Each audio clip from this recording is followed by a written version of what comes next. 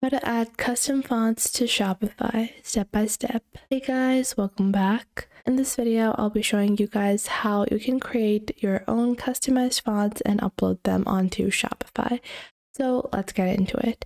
Now, if you're tired of the basic appearance of Shopify fonts, you can easily upload your own fonts. So one little tool that I would like to show you guys is called WhatFont over here. Now this is a simple Chrome extension and what this Chrome extension allows you to do is that if you add this you can search for the font that any website is using. So if you really like a website's font you can go on ahead and search for it and then it will tell you what exact font it is and then you can use that font on your website as well. So this is just an additional little tip if you are looking for your own fonts.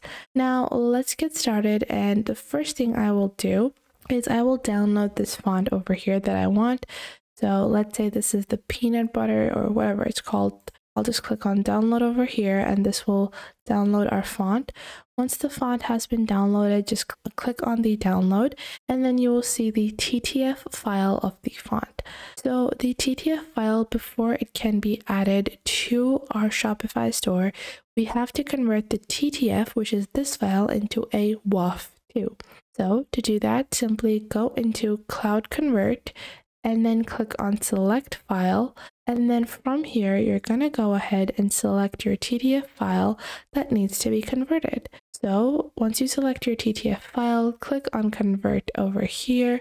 And once you have converted your file, you're going to just click on Download. So just keep this downloaded. Now we can proceed with making changes into our Shopify store. So to do that, simply head on over to your Shopify dashboard and go into your online store. Once you go into your online store, you want to click on these three dots over here. So once you go into these three dots, click on edit code. Now, just as a precautionary measure, you can choose to duplicate your store and keep a duplicated version of your store in your theme library. This just ensures that you have a original version of your store that you can revert back to. So just click on edit code over here and once you click on edit code, on the top left, you want to search for base.css. So once you search for base.css, you're going to click on it and open it up. Now, once you open up base.css, scroll to the bottom of base.css. Now, once you scroll to the bottom, you want to copy this code in base CSS. So to do that, just copy this entire code. Keep in mind you need to copy it in its entirety, otherwise it does not work, so always do that. So what you're going to do is copy this and add this at the bottom of base.css. So once you have added this, click on save on the top right. Now, once you have saved this and once you have converted your word or your font style into a WOFF 2, from here, you can click on your assets and click on add new asset.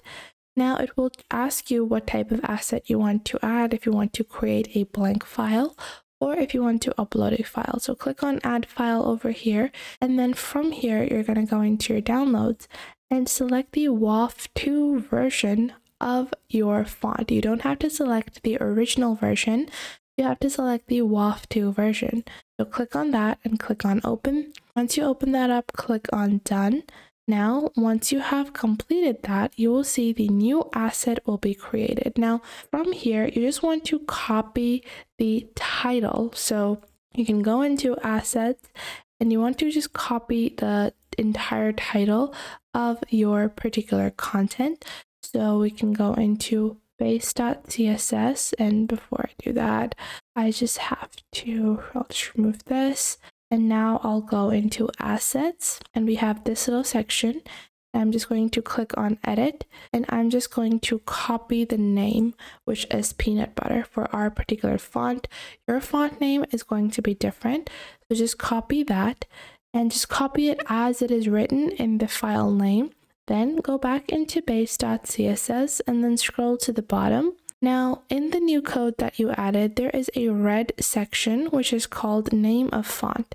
Select that and paste in the name of your font. Now, below that, you have a src URL and then you have the name of font file .woff2. Don't select .woff2, only select name of the file and insert that.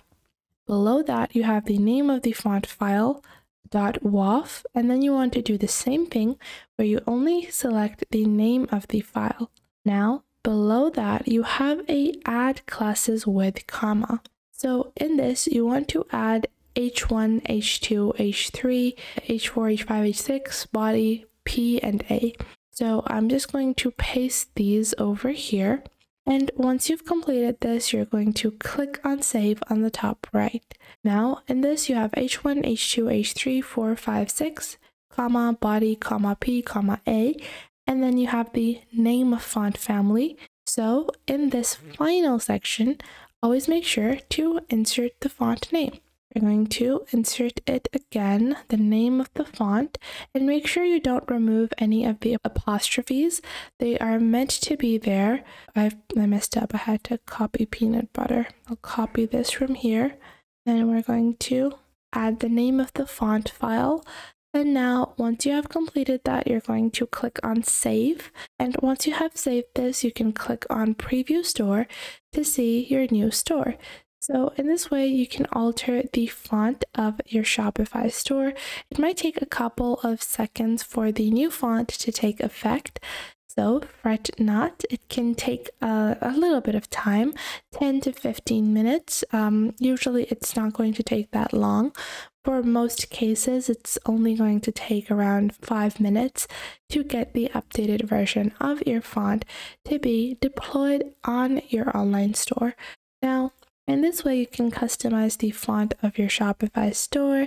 If you go into your basic customization, the font options can really be limited to none. So having this option to build or upload your own fonts into Shopify can be a great alternate as to using the default versions of fonts in Shopify.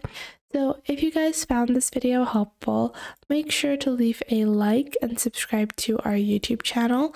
And if you have any questions or queries, or if there's anything else you would like to know, make sure to leave that in the comment box down below. I would love to know what you guys have to say, and if there's anything else that I missed out on, make sure to let me know about that as well. And if you're looking to build a header like this where it is transparent or build a looping non-clickable video, or edit the font sizes on your Shopify store. I have detailed tutorials on all of those on this YouTube channel, so check those out as well, and I will catch you guys in the next video.